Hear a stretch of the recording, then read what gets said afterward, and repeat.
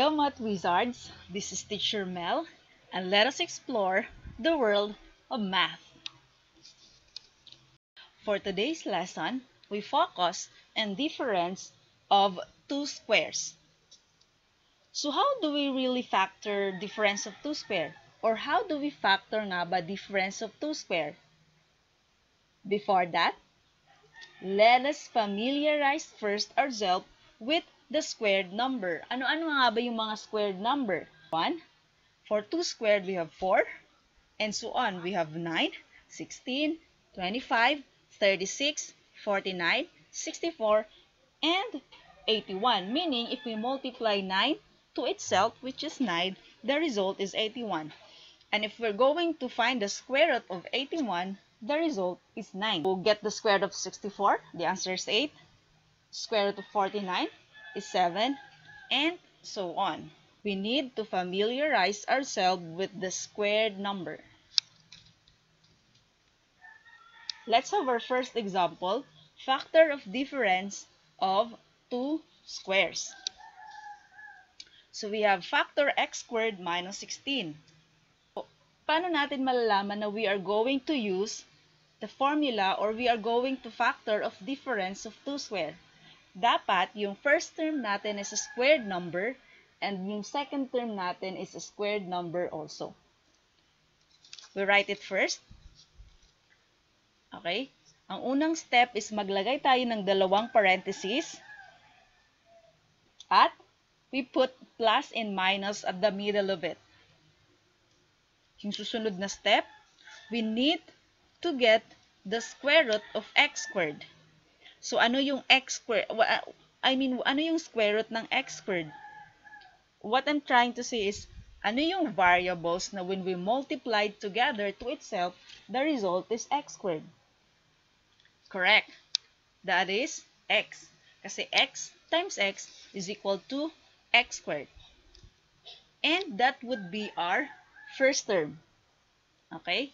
So, yung first term natin is x. So, we put it on the parentheses we have x and then x also on the other side. Pangalawang step, we need to get the square root of 16. Ano yung square root ng 16? So, kung kinabisado nyo yung squared number, must be easily identify the square root of 16. Meaning, ano yung number na we multiply it together with itself the result is 16. Tama. Ang sagot ay 4. So, the square root of 16 ay 4. So, we write it on the last term. We have plus 4 and we have minus 4. Therefore, if you are going to factor x squared minus 16, the result is x plus 4 and x minus 4. Factor 9x squared minus 25. Paano natin malalaman na if it's a difference of two squares? Sabi ko nga kanina, dapat yung first term is a squared number. Yung second term is a squared number also. So, kung kinabisado mo yung squared number, madali mo siyang ma-identify if it's a difference of two squares. We write it first. Ano yung unang step natin? Maglalagay tayo ng dalawang parentheses and then merong plus and minus at the center of it. Pangalawang step. Next is, we get the square root of 9x squared. So, ano yung square root ng 9x squared?